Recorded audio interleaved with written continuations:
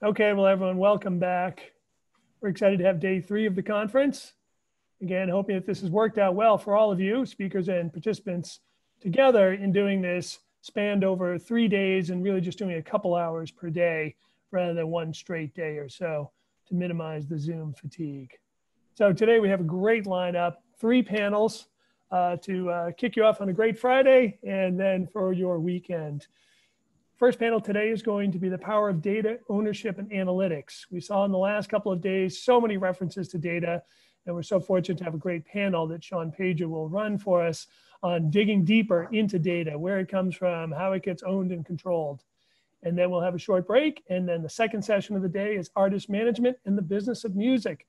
Again, this is the Music Ecosystem Conference, not just about copyright, but about the whole ecosystem how we manage artists, and how we think about the business of music overall.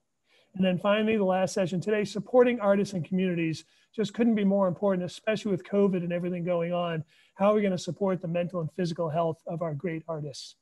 So I don't want to take up too much time. I want to hand over to my good friend, Sean Pager, who's at Michigan State University, has been a great friend to our program for years, has done great work with his own Creative Upstarts program. And so I just couldn't say more about him, except that Sean, just like Richard Bush yesterday, that is not an accurate depiction of San Francisco today from the Marin headlands. But all right, you called me out, Sean. Take it away, Sean. And thanks to uh, for organizing this amazing conference. Those of you listening yesterday's um, panel on uh, record labels already heard several speakers testify to the importance of data in today's music industry and the volume of data, the sheer uh, uh richness of the information available. And today's panelists uh, will expand on this theme and explore some broader implications.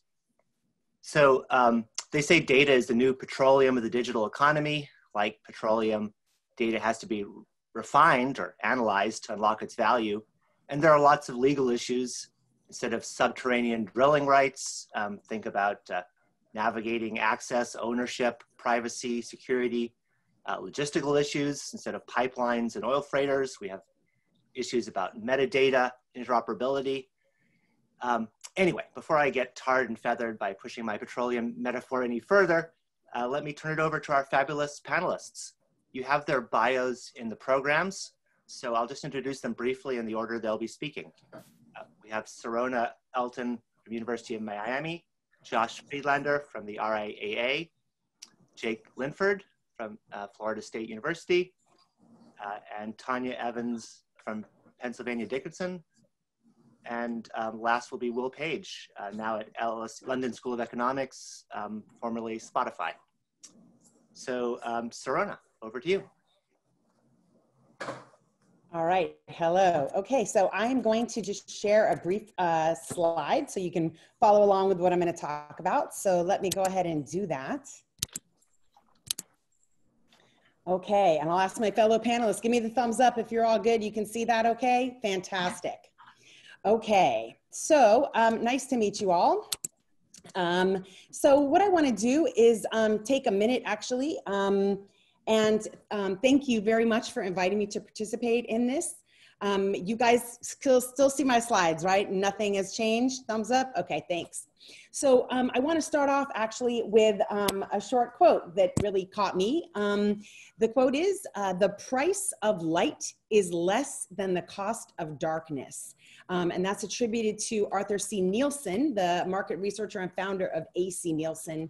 Um, and I thought that that, uh, that was particularly on point. Um, so in case you were not aware until now, data matters a lot to content creators, owners, and administrators. I'd like to briefly walk you through the different data analytics tools that are available to recording artists today.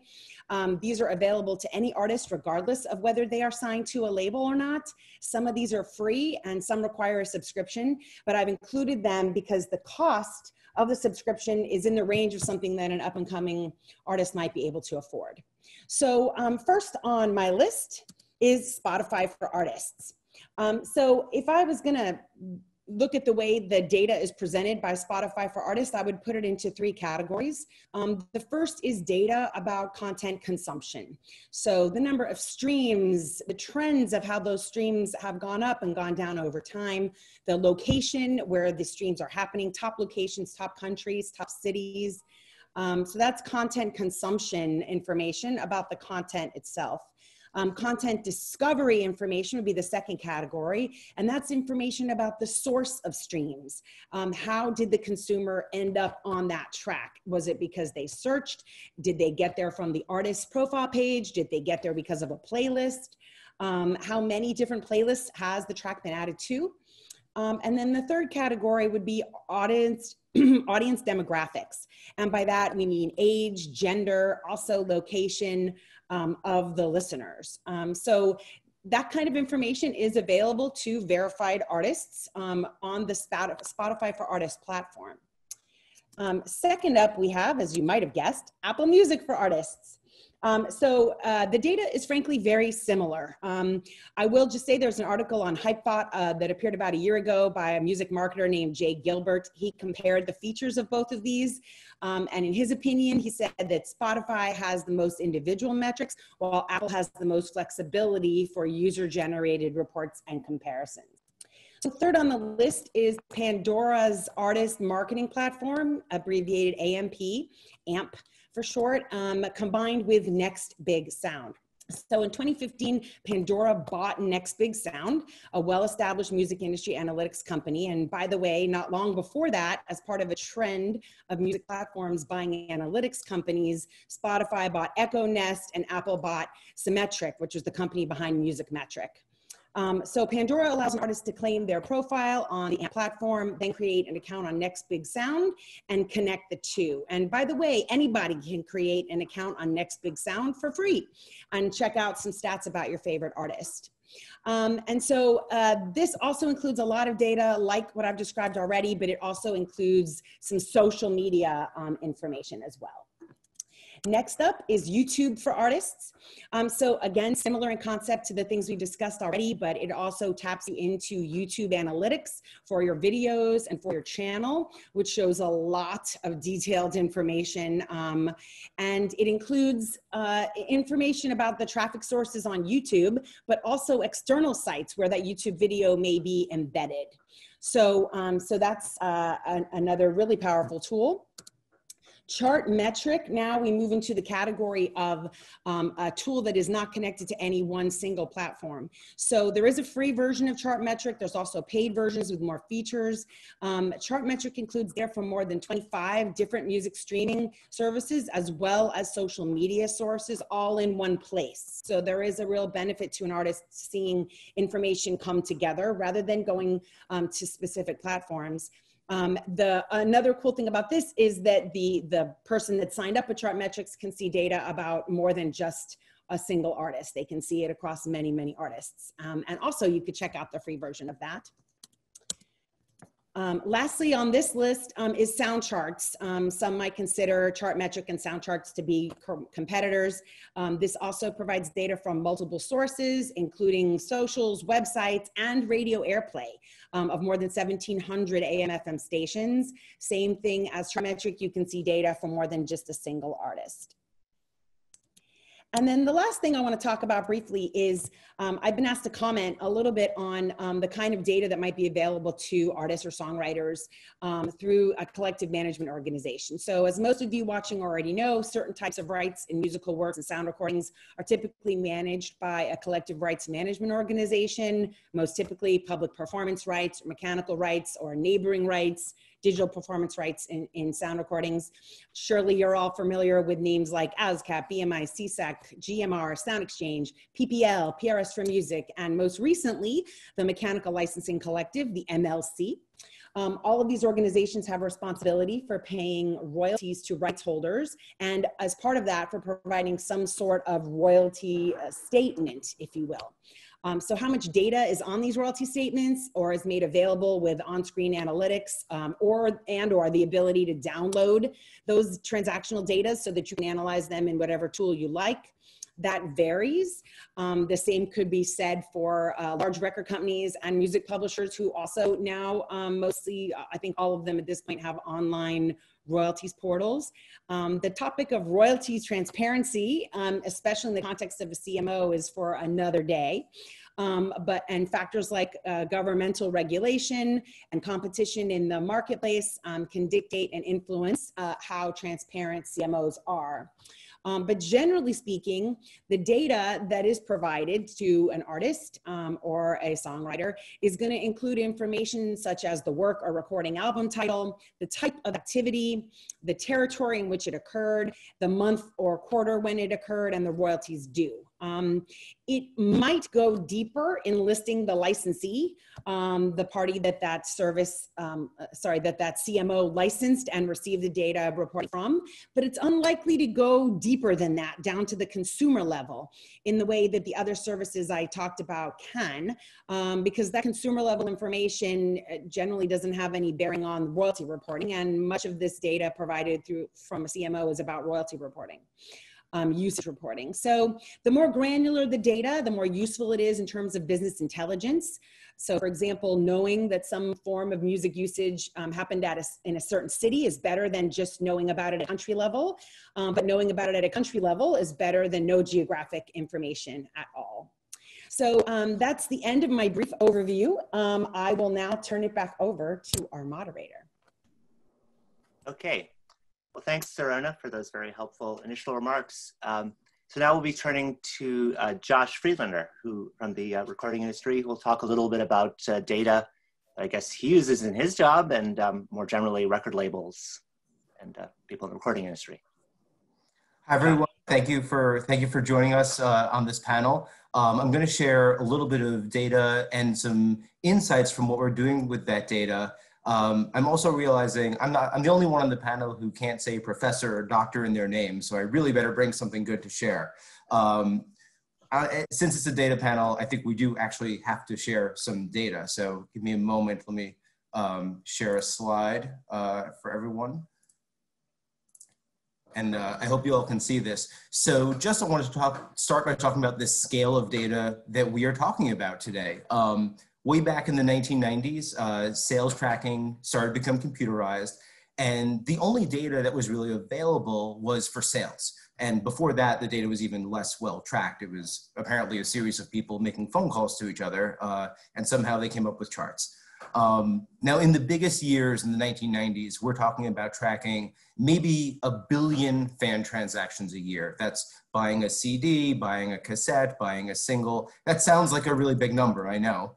Um, but that's why I wanted to share this data. Um, in the 20 years since then, in two decades, we've moved to now one and a half trillion, that's trillion with a T, uh, transactions that we're uh, measuring every single year. And this is just in the United States. This is a measure, this is mostly, of course, the number of streams that are being tracked, but we also know who listened to them, when, for how long, and on which service.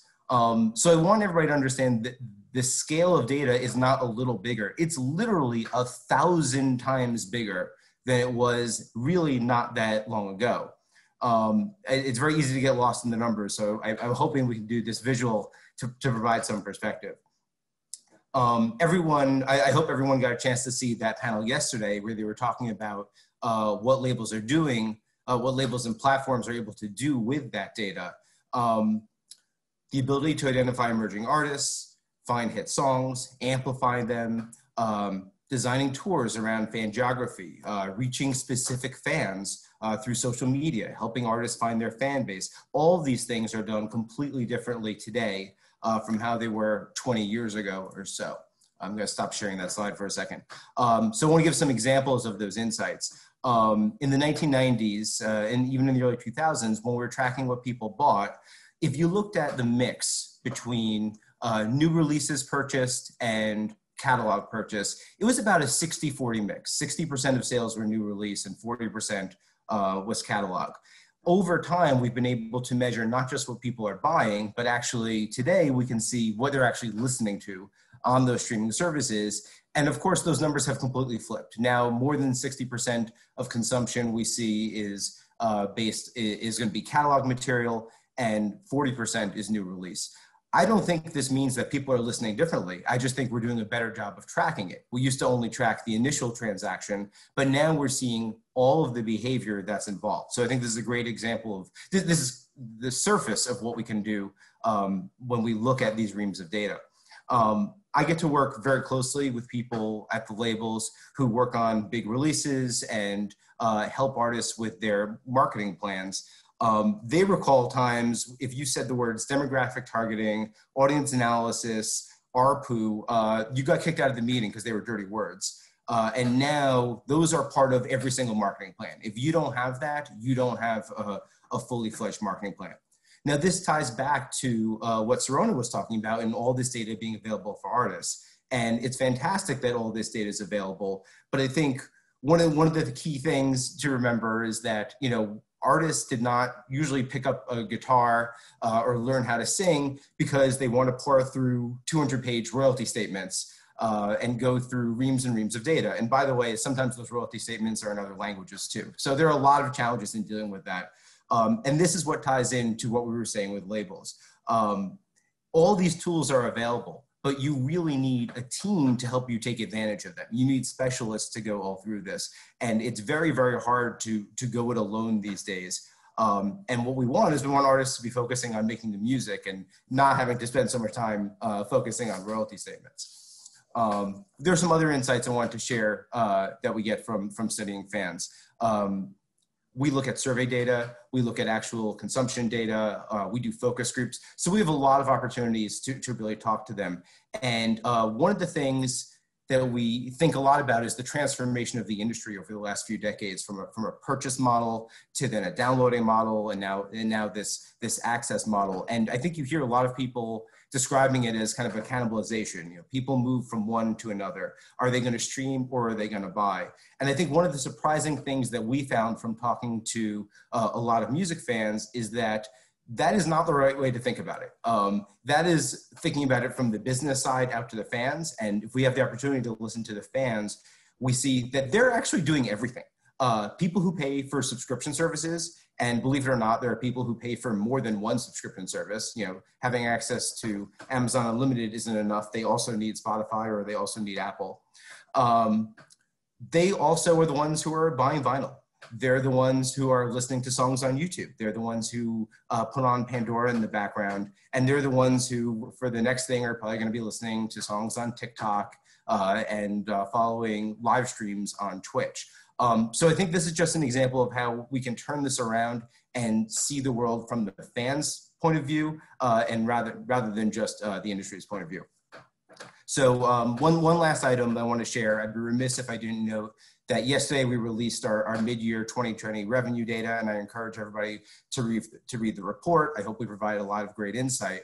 Um, but this is you know one more example of how we're using data in uh, the way we describe the industry. I'm going to put his, uh, the, the slides back on for a second, and hopefully this will advance. There we go. Um, so I want, just wanted to share how this uh, has changed through the years, and, and, just as another example of how um, not just the formats, but how we describe the industry has changed through the years. So in the 70s, of course, we're just tracking a few, um, just a few formats in the 90s we started adding cds and then 2000s digital and now in 2020 you know i have the major categories listed here but we're actually tracking data across dozens of formats and pulling all of this together. So what used to be a very simple job has actually become very very complicated but at the same time i think we're providing a lot more information uh, than what used to be available. Um, so uh, i hope this is helping shed some light on what's happening in the business I'm going to stop here and I'm happy to uh, discuss more if we come back for questions afterwards. Okay, well, thank you, Josh. Very illuminating presentation. Um, I forgot to say earlier um, to those of you listening, um, we're of course going to have a question and answer session um, with the time at the end of the session. And uh, anybody with questions can feel free to send them to the panelists uh, via the chat function. Just uh, post your questions on chat and I will try to compile these questions and ask them as time permits um, at the end of the, after the initial presentations. Okay, so um, next up we'll have Jake Linford, who will say a little bit about, I believe, streaming platforms, use of data there. Well, a little bit. So my my job is a little bit to be the little black rain cloud, unfortunately. And I'll ask my panelists, can you see my slides? Are they showing? Good. Um, I think you've heard uh, today from Josh and Sharona, yesterday from Garrett Levin with DiMA, lots of the upside of data analytics. And I want to flag a couple of costs that I think we may want to keep in mind. Uh, first, is it possible and sometimes problematic that gathering all this data about music consumers might reveal potentially sensitive information about them? Second, uh, is it possible that the data gathering reshapes popular music and are we accounting for that? Are we happy with that result? And is it possible that there are costs to increasingly data driven creation? I'm going to talk about that a little bit. Um, uh, here's a study of Spotify. Spotify's not alone in this. Platforms often gather data and then share it with quote unquote service providers and others. And who are the others? Now, you might say to me, well, why do I care whether Spotify or any other platform shares my data? Well, here's a couple of potential why we might care. Netflix did a study, tell us what you can tell us from Netflix data, and then was promptly sued by an in the closet lesbian mother that the study had revealed basically that she was uh, a, a homosexual based on her consumption. A couple of clever guys from Texas, you know, had run the study and found out some things about her that I don't think she anticipated Netflix would reveal about her when she started using the platform. Uh, six years ago, the Wall Street Journal reported that Pandora thinks it knows if you're a Republican. Now, there's some utility to some of this data. You know, I might want to reach out to audiences of a number of, of different sexual uh, gender orientations. I might want to reach out to my Republican or Democratic listeners. Um, but there's also a potential cost uh, to having this data gathered and then distributed. Uh, all of these platforms are consuming information about us and then repurposing those. And look, you know, the typical way lawyers advise firms to structure their privacy notices are to provide the firms with lots of discretion and to provide the users with eh, perhaps less information and less clear information than they might otherwise prefer. Um, now, Josh has already talked, Sharona's already talked about data-driven music touring, a famous story attributed to Spotify CEO Daniel Ek that suggested Metallica was making setlist decisions city by city based on Spotify data. That can be pretty valuable. There is a potential cost here that we want to think about, which is whose views are we counting? So in a paper from Josh Lerman in 2013, he suggested, look, people who exist on big data's periphery and don't get counted, then they don't get accounted for. Now, that's not necessarily a change in measuring. You know, Tom Petty told us, you know, 30 years ago it was about whether the A&R man could hear a single or not.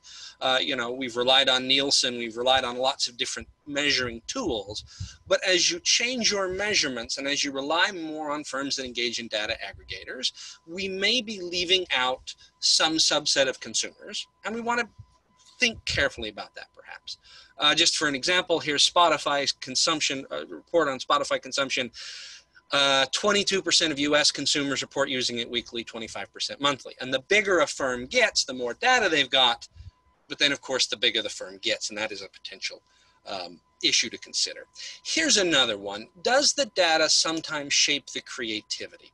So in a paper by Cal Raustiala and, and Chris Sprigman from a couple of years ago, they said, look, uh, and if you're not familiar with the platform, Pornhub is a platform for consuming pornography.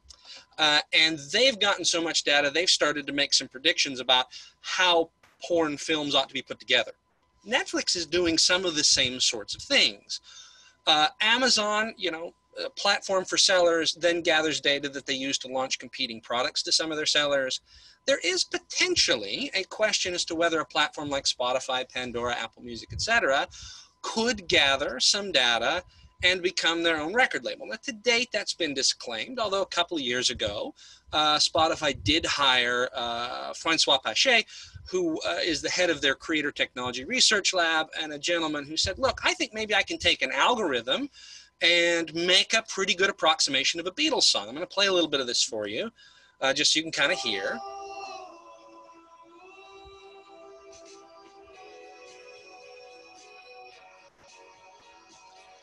I'm going to say it's really probably more, you know, mid-tier ELO than Beatles. But the point is, if the data gets good enough, if the data gets good enough, it's possible, plausible, that there could be a shift to data driven creation instead of artist driven creation. Is that necessarily a net negative? I'm not sure. There are some rumors that Spotify was doing this and seeding fake artists, and I think that speaks to the concern. Whether it speaks to the reality or not, I'm not sure yet. I think what it suggests, though, is firms probably owe to their consumers some sort of accounting about how they're using the data, whose it gets passed off to, and what can and can't be done with it, uh, so that we keep some of these costs in mind. So I'm. I raise these concerns so we can kind of think about those potential costs. Anyway, look forward to the Q&A period. Okay, Jake, always good to think about costs as well as benefits. Um, maybe under my petroleum metaphor, these are the oil slicks of the data economy. Um, anyway, uh, let's move on to our next presentation and um, hear from Tonya. Thank you. For watching. Excellent. Slides up. I can get going in class and otherwise and, and seven slides in before I know it. Thank you so much for the presentations that came before and I love the synergy uh, of the order um, and certainly the info privacy concerns um, are not lost on me as I delve into an overview and, and I'm happy to take the questions uh, after about the role that uh, the, uh, the disintermediation that can occur with a different way to organize uh, data in a centralized rather than siloed fashion. So uh, when I speak of disintermediation, the goal in 2009 when Satoshi, whoever he, she, or they are, uh, released the first um, stable blockchain for the Bitcoin blockchain. Um, that is a story for another day. You can go to prof, proftonyaevans.com if you want to get a, a primer on, on blockchain. But one of the um, most important aspects of it and, and the potential and the power in the space of music is removing some of the friction points because it's so heavily um, intermediated. I think I just made up a word, but the point of so many stop points along the way. Um, the um, we're all familiar, I think, with the process of from music creation to distribution and all of the stop points al along the way. You have your content creators and producers, you have uh, recording studios. Each one of these um, entities or individuals has their own method and means of storing data, transitions to agents and managers and pros, marketing, distribution, production, um, pressing of um, back in the day vinyl or CDs or in some way um, creating for dissemination and then further dissemination. And then we have the environment of concerts and um, certainly media, both traditional and uh, new media, which is now the traditional media. The new media is now the old media, and we are uh, moving forward even more. And of course, we see all of the friction points, stops along the way, and the premiums that are extracted uh, as well. The point of it all, obviously, is to find trusted parties where you have two uh, entities or individuals who do not know each other and need to find a trust point, but are those trust points now turning into the choke points that have uh, even um, uh, become pervasive in digital, digital distribution as well. There was a lot of power and promise in the 90s as people talked about the internet and digital technology and peer-to-peer file sharing and what that would do to completely upend the music industry. And the, the industry certainly took a hit. But what we've seen emerge are new um, stop points, friction points, even and especially in the digital medium. So what were some of the problems in the space, the Internet of Information, also known as Web 2.0? We had this free exchange of ideas, but uh, it failed to account for and to control um, digital ownership, property rights. The content was easily created, but also easily pirated. Uh, the unauthorized copyist in his or her fuzzy slippers at home could send and disseminate. We all know the story and the tales of all of the uh, problems and concerns, but obviously making it difficult or impossible to distinguish masters from copies and not, um, uh, not distinguishing the copy from the uh, master caused epic problems where the technology was so great that the degradation that we experienced with cassettes, for example, were no longer uh, took place.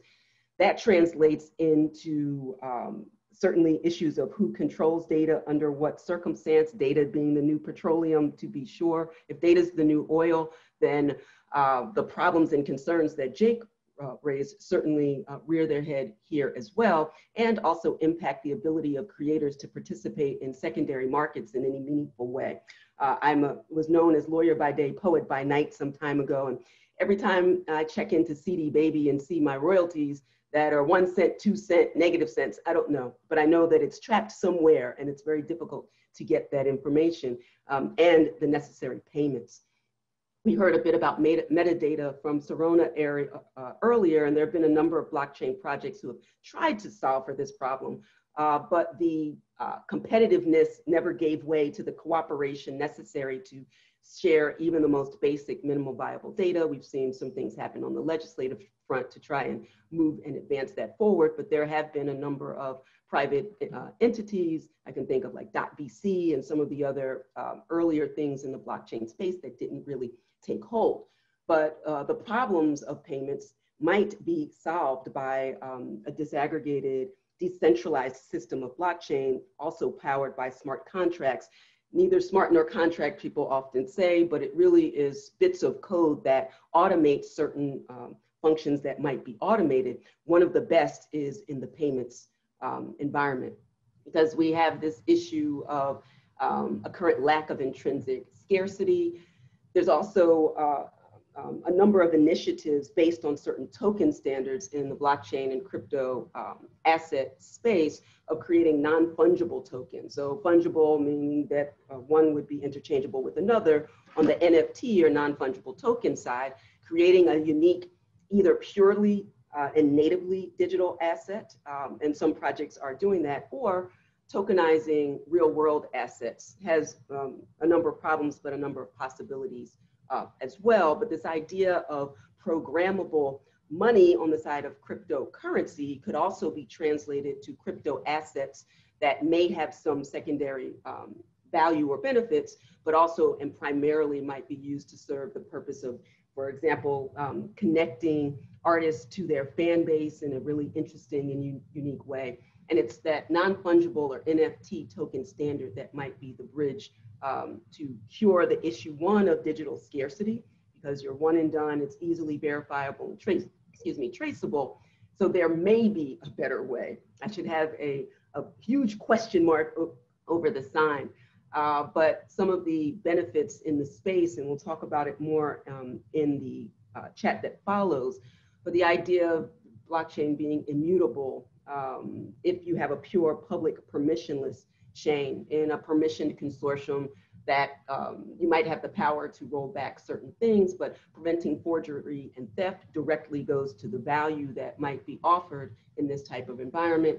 Um, verification, logging on the blockchain or recording, another way of saying recording bits of information about files rather than complete file storage.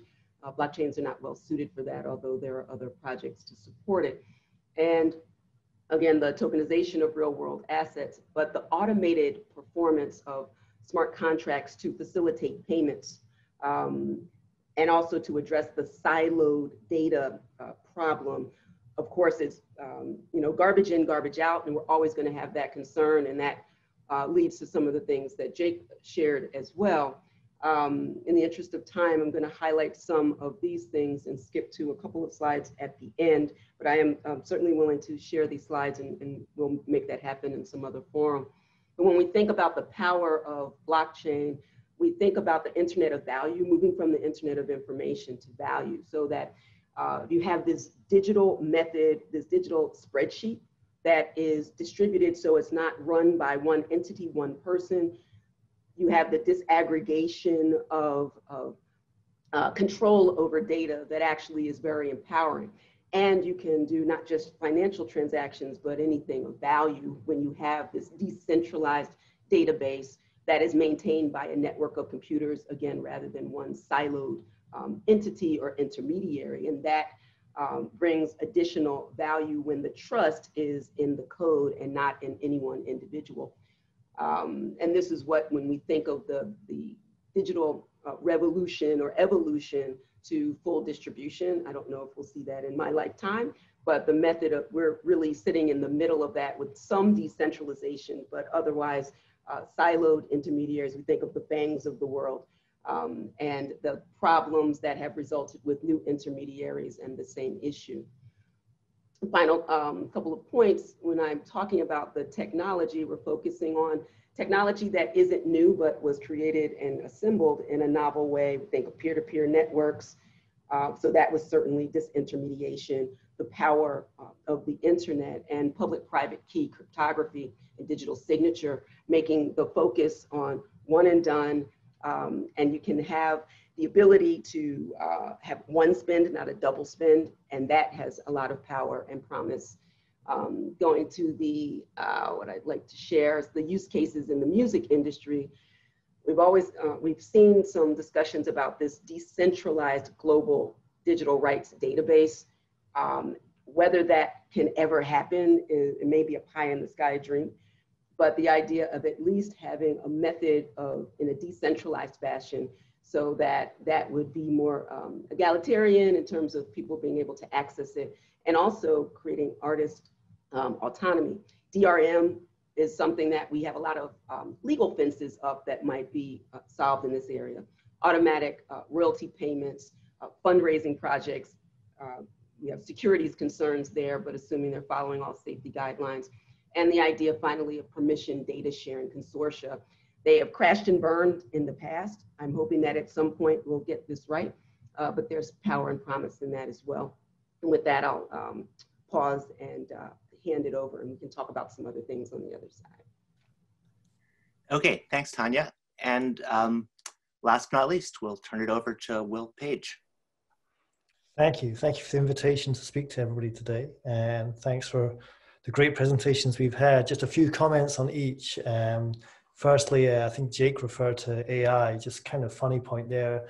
The Financial Times, we're going to have our weekend festival in Kenwood House here in London, where I'm calling in from. And my plan was to have a Eurovision Song AI contest where you cheer on your favorite computers for computer generated music. Uh, that will happen in 2021 once lockdown is over. And if Australia is allowed to join the Eurovision Song Contest, I'm sure our American colleagues can join the Eurovision Song AI Contest. So please bring your computers and support them as much as you can.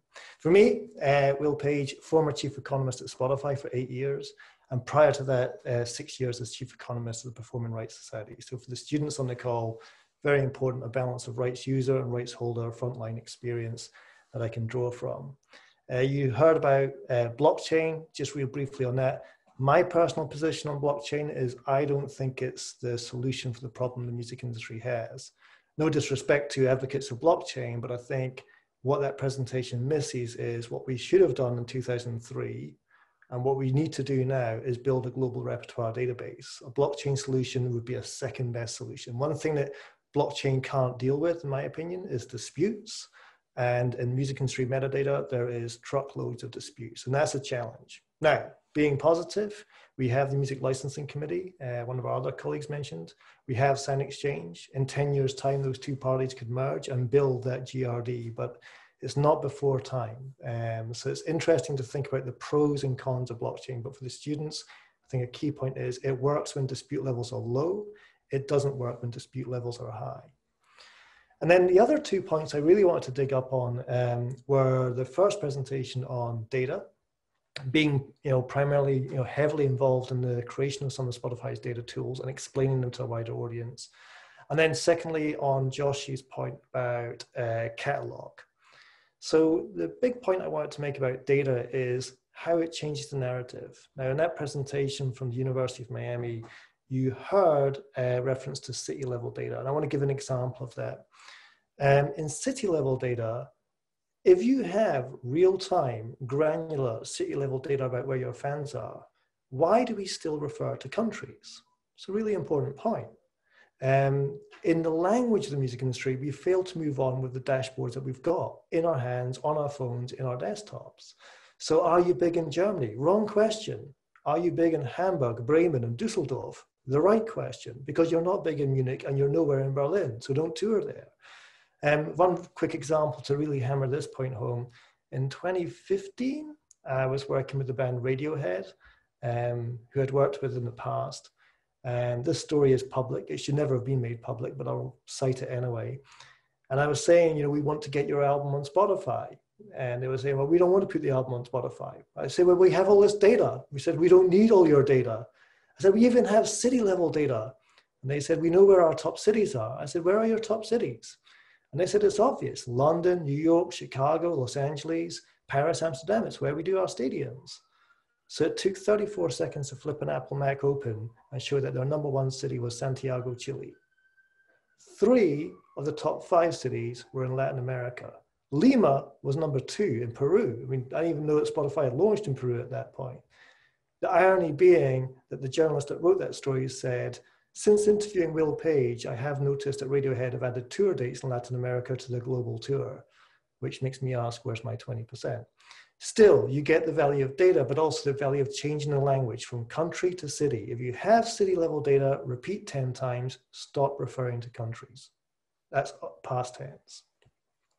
Then lastly, just to talk about Josh Friedlander's comments uh, about catalog, I think that's a relevant point. I mean, in short, what Josh was saying is instead of monetizing the transaction, we now monetize the consumption downstream. And again, a case study which is public, and I'll make sure that your university gets all the links for this.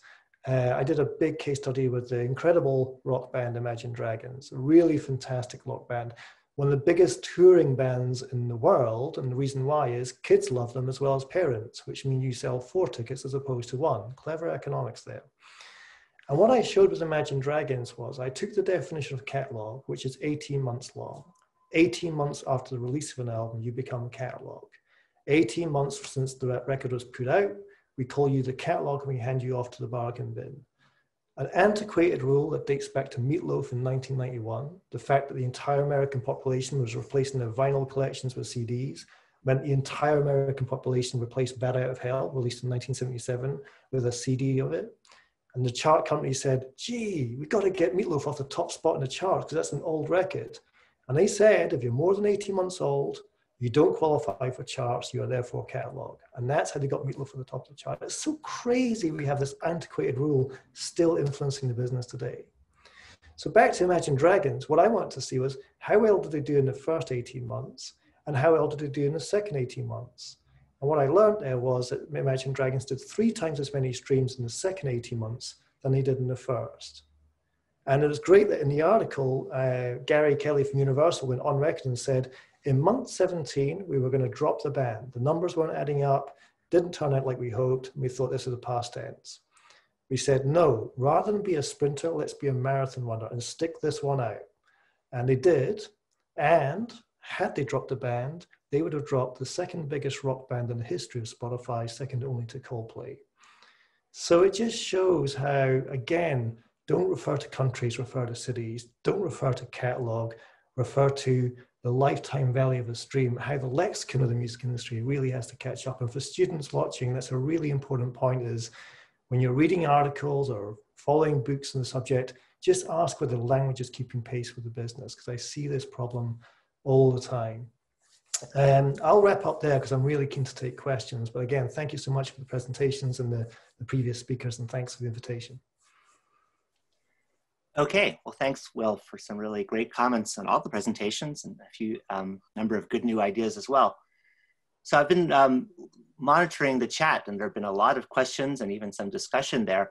Um, one theme I've gathered from the chat um, is a number of people asking about the effect of all this new uh, data analysis um, and uh, whether it disadvantages independent artists or people who are um, you know, kind of on their own and don't have a team of specialists? Are they being shut out? Um, is this somehow um, putting a burden that's going to you know tilt music to more big mainstream acts that can afford to have a team uh, behind them that uh, will kind of empower them with this advantages, these advantages that data gives.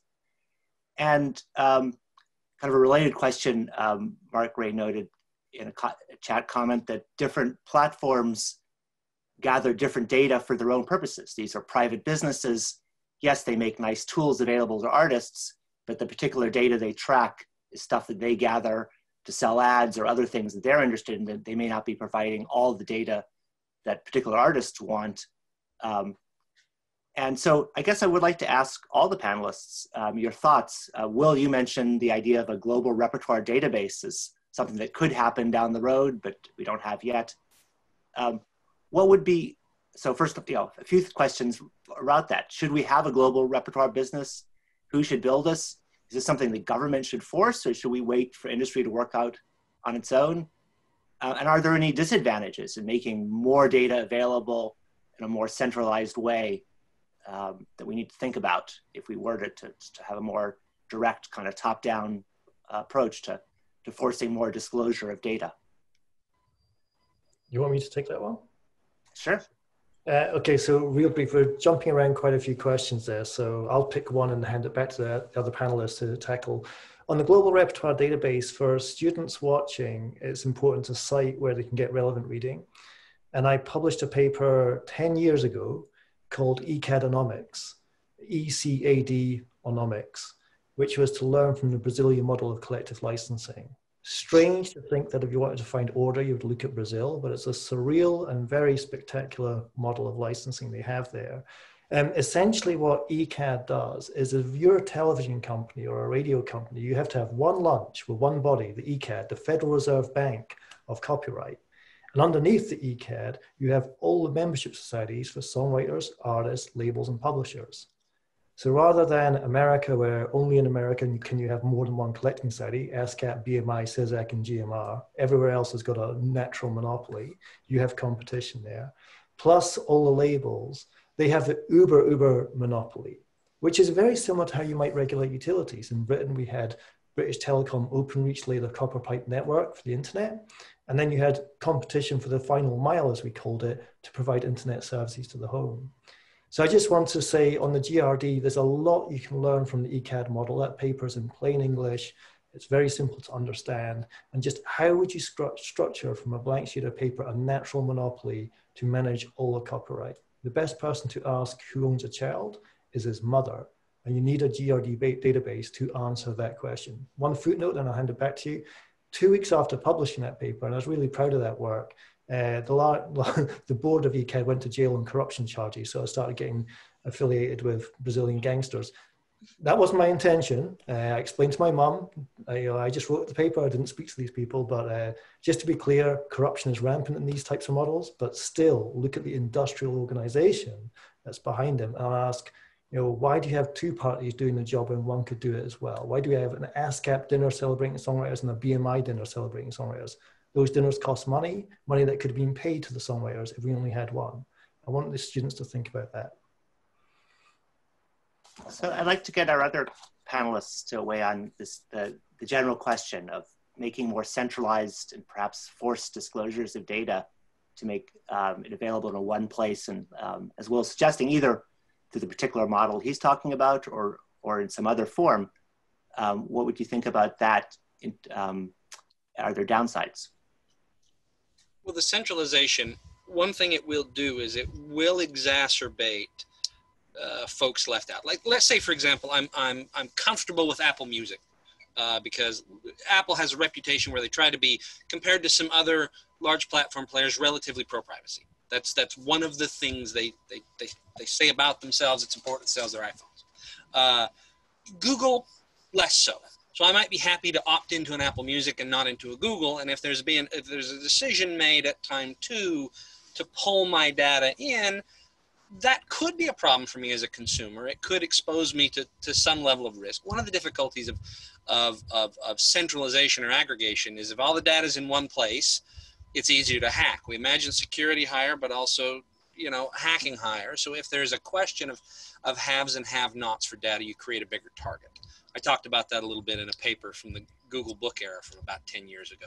Um, unfortunately, did not get looped in with Brazilian gangsters, so not nearly as interesting a story as Will's. Um, but that's a concern, right? The, the, repurposing of data and one thing about competition is I can at least opt into the platform that I think does better for me as a consumer, perhaps better for me as an artist. And that's not necessarily an option in a natural monopoly sort of situation. I'd love to chime in. Um, I think we have to make a distinction between what I'll call master data versus transactional data. So, you know, when we talk global repertoire data, we're talking about master data, and I don't mean master in the record company sense of the word. I mean it's it's it's identifying data, it's disambiguation data, it's information that says essentially it's, it's the credits, right? It's this is the recording, this is the record company, this is the artist. Um, and by the way, some of the challenges of those credits is they change. Um, recordings get bought and sold by record companies and soda soda catalogs of songs. But you have master data, which um, is what the, the Global Repertoire Database Project was, a, was about. Um, and, you know, there is a, a certain subset of that that is, um, I think, harmless in terms of being public. Um, and and it's you know having it be public is very beneficial um, you know to so many things and and I think in my own personal opinion you know that's why the the the MLC's data is mandated by law to be public. That's different than transactional data. So transactional data is about you know who streamed it when they streamed it where they streamed it.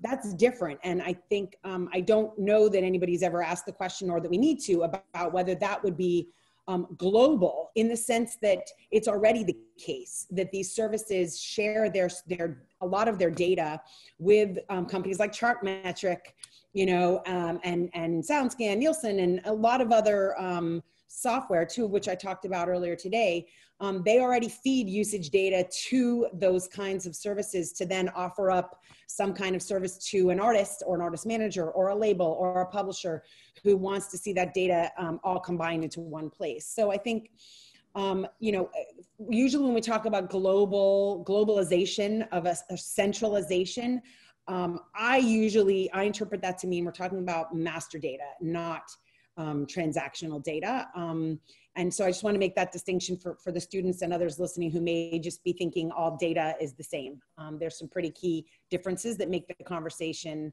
you know, kind of go in two different directions. Can I add something to this, uh, this discussion of, of data? Because uh, I think we had some very interesting conversations with consumers about how they were thinking about this data. And we've talked about a couple of different pieces here. We've talked about the, the master data, about the recording. Um, you know, Serona, I think you're pointing out the transactional data versus um, Jake, what you're talking about, I think is where we're starting to get into the personal data. And when we were speaking to consumers, they actually were pretty clear about the difference. And they definitely saw um, there was a big difference between how they viewed dealing with transactional data versus deal and they didn't use those exact words but how they used uh, talk about transactional data versus personal data. And i think there was a line there. Um, if we think about the transactional data you know that's the data that lets a listener say i like this artist and then a service comes along and says hey you should also listen to this or you listen to this artist. Their tickets go on sale next week and here's their merch shop. And people i've been looking for that vinyl you know i want to i want to get that. So consumers definitely see and fans definitely see the value in sharing some transactional data. I'm not saying there isn't a line where it goes too far and there's absolutely sensitivity to personal data. But if we're talking about what am i interested in i think consumers do get that if i'm, I'm sharing something but i'm also getting something back um, when we get to the personal data, maybe they don't know if they're getting something back, but certainly for the for recommendation engines, um, for getting those other levels of connection, uh, I think it was surprising the degree to which they were knowledgeable about it and open to it.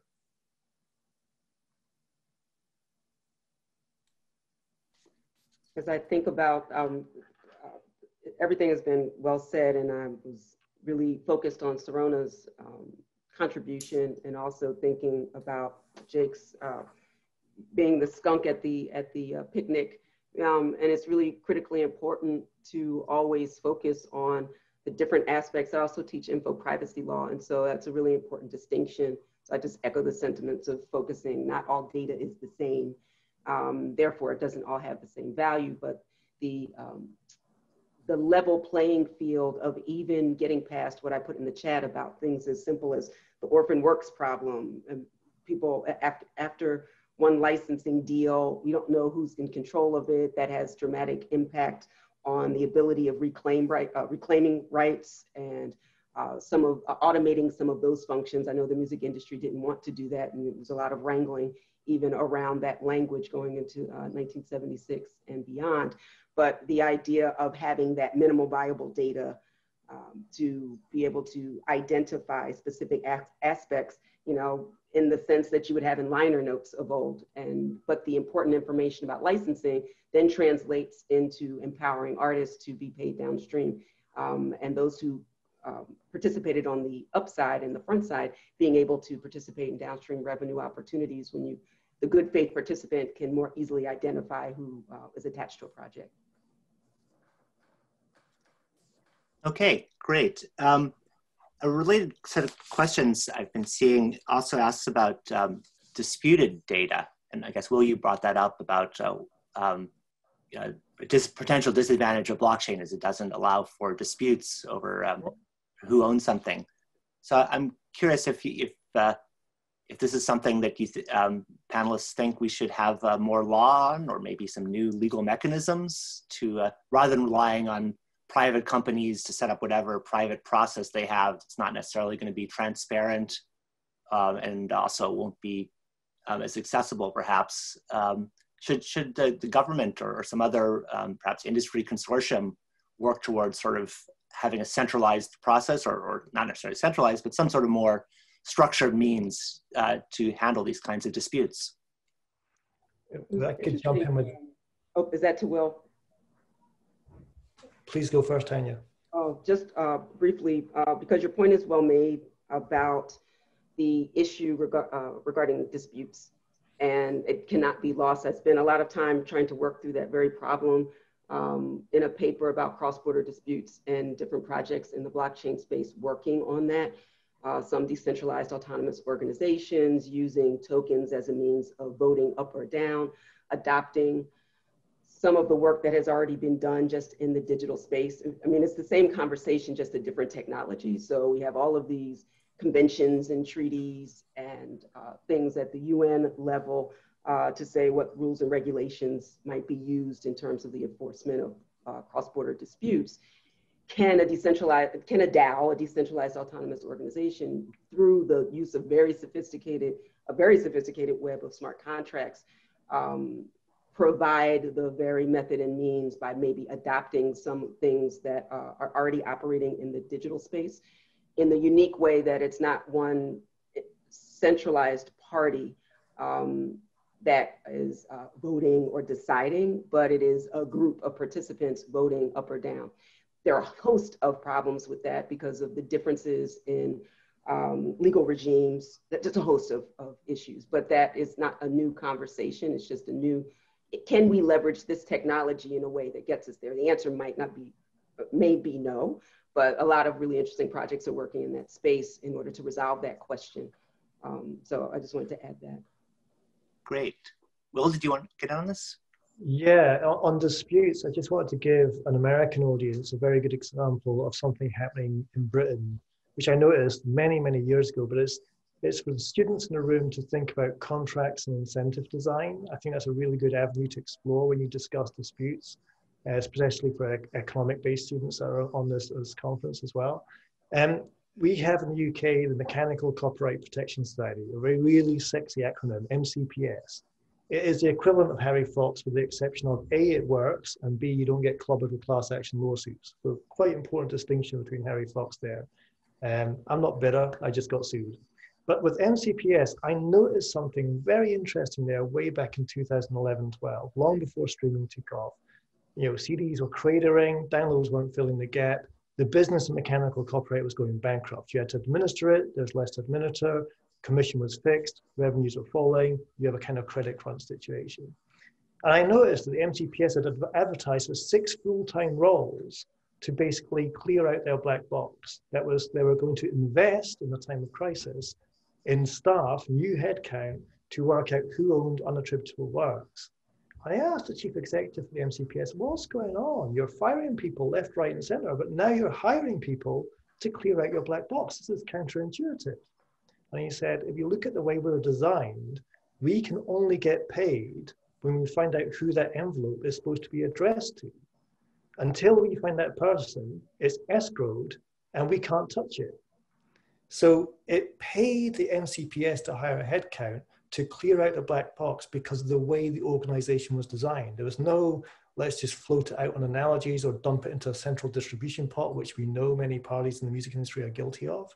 Their incentive design was, in my opinion, genius. Until you work out who damn well owns that song, you ain't sending it out and you ain't getting paid for sending it out. And it's just a fascinating example of how you can introduce incentives to the contract to reduce the number of disputes. Okay, well, we are about out of time. Did um, no one had any final thoughts on that last point? I guess um, I will thank the panelists uh, for their presentations. There were some questions also about um, sharing the slides, and I believe the organizers will be making that available on the uh, conference website. So uh, for those of you listeners who are interested, um, you can look for those uh, hopefully uh, coming soon. Um, but thank you all for tuning in for very illuminating presentations and a good thorough discussion of this topic. Great, thanks Sean. Thanks for running an excellent panel. Just, I warned everyone we'd get into the weeds and we did, but I think our panelists did an excellent job of keeping it accessible still even though quite a lot of good information. And yes, we'll work with the panelists to either have their slides available on our website or direct you to links at their websites where you can get the slides and more because many of our panelists have uh, just great information on their own websites. we'll get that up. Now it's time for a break until noon. At noon, we come back for artist management and the business of music. And so we will tune off until then and look forward to seeing you all back at noon. Thanks again, Sean, and all the panelists. Thank you.